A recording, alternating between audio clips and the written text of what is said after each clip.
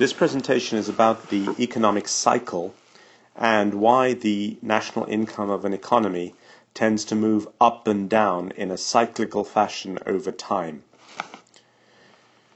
In order to understand this, we first have to define the term potential output. Potential output. The potential output of an economy is defined as the output that an economy produces when all the resources are used at their normal rate of working. So if we imagine that an economy has a certain amount of land, labor, capital, and enterprise, when these resources are being used at their normal rate, the output that is being produced is the potential output of that economy at that time. So by normal, let's see what we mean by normal a worker normally works eight hours a day in a developed economy. And so when all the workers are working eight hours a day, that would be the potential output of the labor. And if we uh, apply this concept of normal working to land and capital and enterprise as well as labor, we can see that that will be the combined potential output of the economy.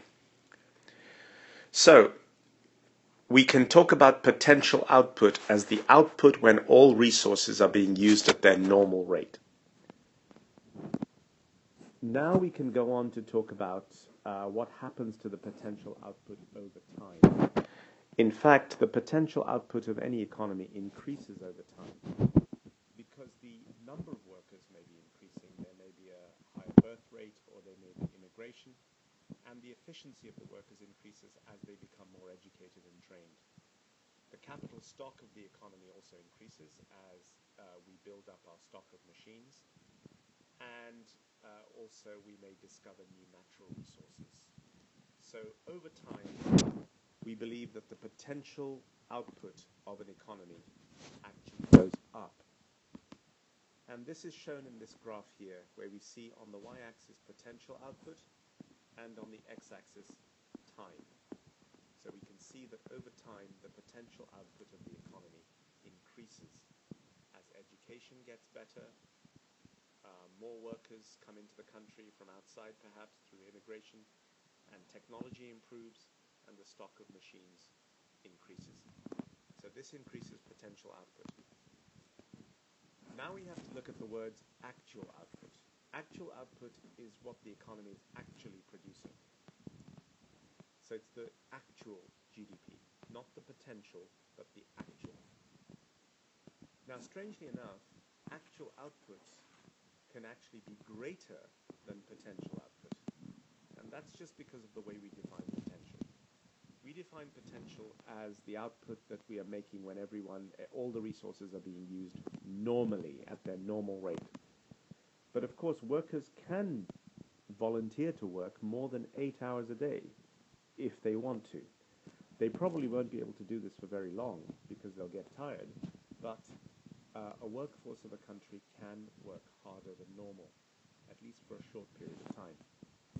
So the actual output of an economy can be greater than its potential.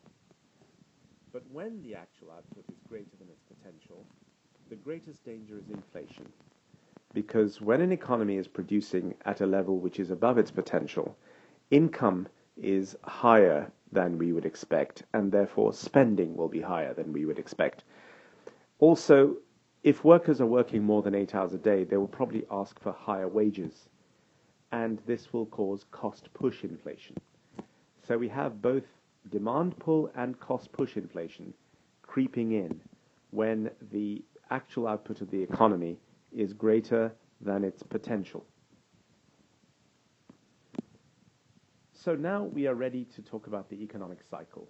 We have learned so far that there is something called potential output and something called actual output, and that actual can be greater than potential, and that when actual is greater than potential, inflation is the biggest danger. So now let's use those facts and some others to discuss and find out why the economy moves in a cycle. Here we see a graph with time on the x-axis and output on the y-axis. The black line represents potential output, and we can see that the potential is rising over time. The purple line represents actual output, and it shows that the economy typically moves in a cycle. It grows, sometimes above its potential, and then falls again to below its potential. And this cycle repeats over time. So this is what we call the economic cycle, and we have to explain why it happens. To explain why it happens, let's start at a point where the actual output is below potential. In this situation, both the central bank and the government would want the economy to grow. They would want the output to increase. So here we have a point such as point A, where the actual output is well below the potential at that time, at that point in time. So we start at a point where the economy is operating well below its potential. The central bank will now engage in expansionary monetary policy. They want the economy to grow. So they will use monetary policy to ha- make that happen. So what they will do is reduce the bank rate, that is the interest rate which they charge to commercial banks when they want to borrow money from the central bank.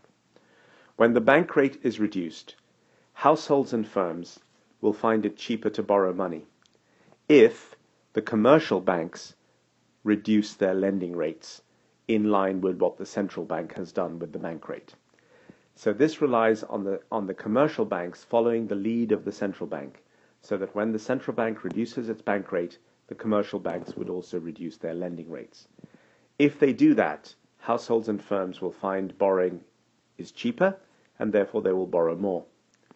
Therefore, consumer spending and investment spending will both increase as consumer spending and investment spending increase, both will have a multiplier effect on output, and the output will rise quite fast as a result of the multiplier effect. In addition, as consumer spending increases, investment spending will increase quite fast according to the accelerator theory which says that investment spending depends on the rate of change of consumer spending. So what we have now is that we have the accelerator effect and the multiplier effect reinforcing each other. They're both pushing the economy up. They're both pushing output up quite quickly. Now, because both these things happen and push output up very fast in the same direction, we can have a situation where even though we started at an output level which was below potential, we soon find that the output of the economy has risen to above its potential. If this happens, the central bank will now change its opinion about the future. It is no longer worried about economic growth. What is worried about now is inflation. And in order to ward off inflation, the central bank will now do the reverse of what it did before. Instead of reducing the bank rate, it will increase the bank rate.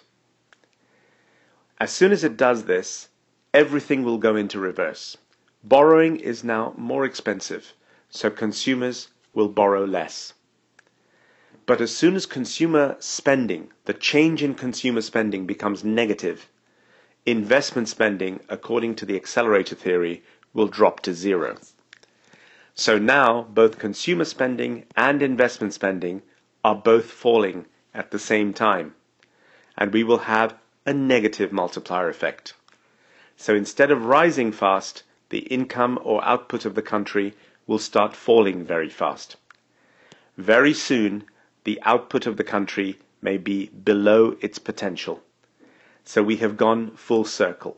We started at a point below potential we rose very quickly above potential, and now we are below potential again. In other words, we have completed one full economic cycle.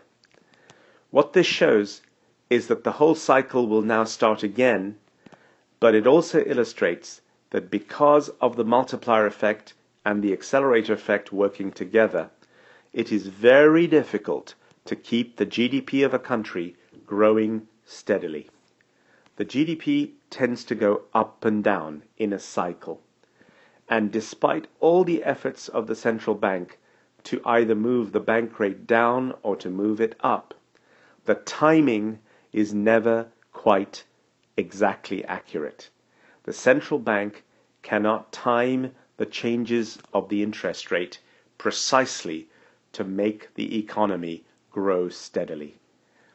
The multiplier effect plus the accelerator effect is very explosive. The two always work in the same direction. When they are both working positively, the economy rises fast. Its GDP rises fast. When they are both working negatively, the GDP rises or falls fast. And therefore, despite what the central bank does with the interest rate, it is almost impossible to keep the GDP rising steadily. It will always rise and fall in a cycle. So what we've seen is that the multiplier effect and the accelerator effect, they work together. So we have a combination of multiplier and accelerator. And together they explain why the economy goes in a cycle, why GDP goes in a cycle and doesn't go straight up or straight down.